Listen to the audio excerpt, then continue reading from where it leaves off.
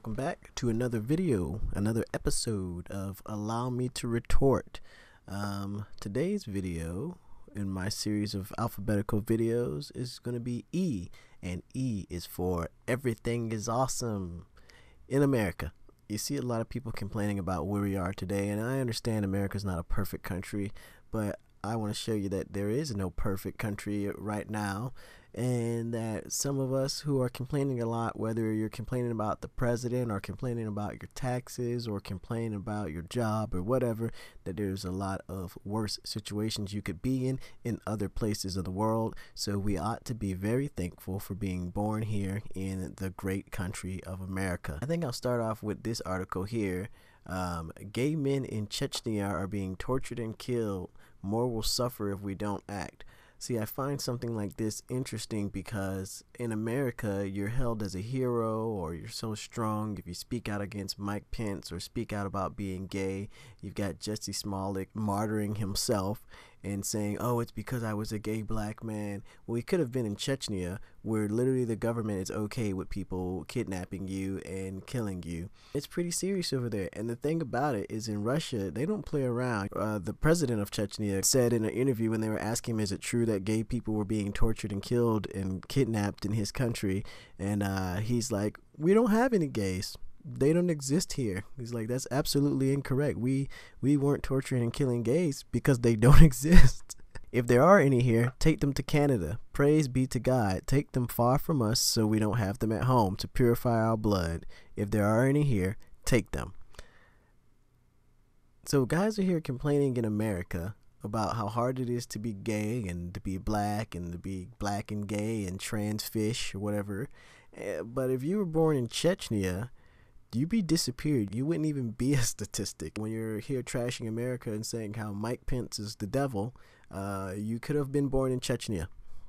We now have an influx influx of people coming from Mexico and Honduras and Guatemala and other uh, Central American countries. And you wonder why. Well, here's why the countries suck. That's not racist. Those countries, those areas suck because they're overrun with gangs, gangs and drug lords, and you know, people are dying. The murder rate in Guatemala and El Salvador is at an all-time high. You know, dozens of people are dying daily because their countries are corrupt. The government is afraid to act against these drug lords, or the drug lords are the government in a place like that. And so, to escape, these people are coming to America to seek refuge because America is great. Again, they're risking their lives, they're risking everything they have to come here so desperately. But then you've got people who are here in the greatest country on the planet.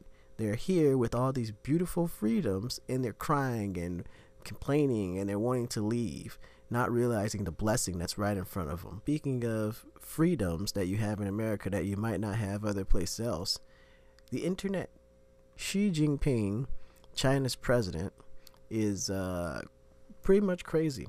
China is not a fun place. Well, when it comes to the internet, China is not a fun place. The internet is heavily censored. The people in China are heavily monitored. And so, if you're thinking America sucks and you want to go to China, you might want to think again. In China, there's certain websites or certain videos, certain movies you can't watch just because they are offensive to the leaders of China, particularly their president. Xi Jinping has been compared to Winnie the Pooh more times than he would like, and this has led to him banning video games and all imagery and even the Christopher Robin movie in China because he does not want to be compared to Winnie the Pooh. It is a crime to put out propaganda or images that compare Xi Jinping to Winnie the Pooh in China. Is that not crazy? Think of all the funny jokes you can post to Facebook about Donald Trump. The fact that you hate Donald Trump, you can go out there, you post whatever you want to about him, and be fine. Nobody's going to come knocking on your door and lock you in the gulags. Do that in China. Go to China, since America's not so great, go to China and go talk trash about their leadership over there. The guy who's censoring a stuffed bear. Go to China and pull some of this crap that you pull against Trump in China and see how well it goes over. All right? Just the basic things. Like, for instance, here we have uh, this website called The Water Project. And the water project is basically, you know, they're they're trying to get water to people all around the world because there are some places in the world that don't have clean water. Something so simple, something that we buy in bottles, or even if we can't afford to get it from a bottle, you just turn on your faucet and there you have fresh, clean water that is safe for you to drink. Today, nearly 1 billion people in the developing world do not have access to clean water. 1 billion people don't have access to clean water.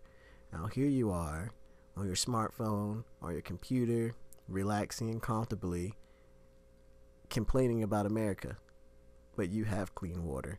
You can post whatever you want to on the internet without being censored or without having the cops come after you unless it's, you know, harmful, you know? But America sucks, right? You got your clean water, you got your cell phone, you got you got your freedoms and your driver's license and but you know what? Despite all that america's super racist. The united states of america the most racist place in the world. Oh wait what's this here? Known to police. Toronto police stop and document black and brown people far more than whites no, Canada, they're so nice in Canada. This is where everybody was going to go because Donald Trump was racist. Donald Trump was so racist. But here you have Toronto police.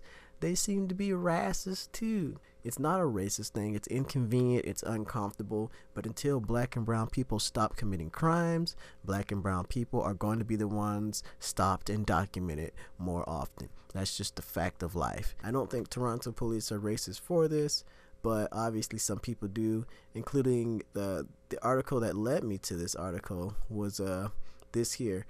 Don't believe the hype. Canada is not a nation of cultural tolerance. Written by a black man, Charles Officer.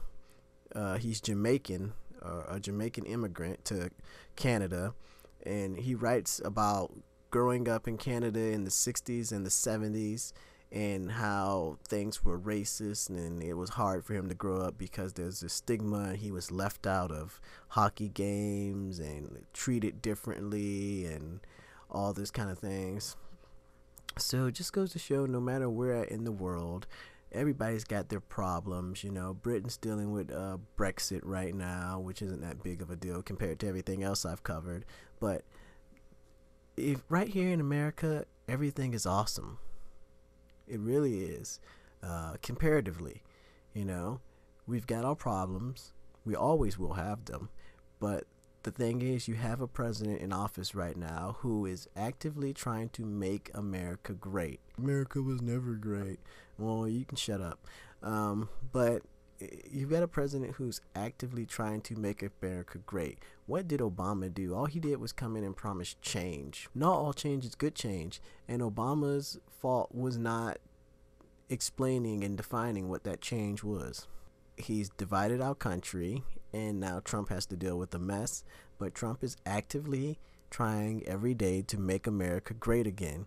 And he's doing well in some points, and he's doing horrible in some points. Uh, the fact that we don't have a wall right now, in my opinion, he's doing bad. But there are some parts where he's doing great. He's fighting for our freedoms in other countries. He's trying to be a bureaucratic and make these deals. Unfortunately, he's making them with North Korea, not Russia. That's a whole nother video. So all in all, I'm just saying America's great. It's been great for a long time. It took a big hit when Obama came into office, but I think we're back on the up and up. So for all you naysayers who are so upset that you're thinking about leaving, you're looking for somewhere to go, you hate your country, you, you don't respect the flag, you want to kneel doing the national anthem because you don't want to support a country that supports racism, well, go kneel in Canada because they're stopping and checking black people. Go to Africa, the motherland, and go go mingle with some of those people who don't have clean water. Think you're being silenced? Do you think Trump is just trying to silence the people who don't like him? Why don't you go post something about Winnie the Pooh in China? If you think it's super hard to be a young gay man in America, despite the fact that the White House was rainbow colored like three years ago. Go to Chechnya and be gay. Have fun. I'm also going to have a link to the Water Society's uh, page if you want to, go donate to them. If you want to actually do something and make a change in the world, make this world a less crappy place, you should donate to the Water Society. And maybe we can lower that number of those 1 billion people in the world who don't have access to clean drinking water. You know? So, thanks for watching my video. You guys have a great one. Everything is awesome.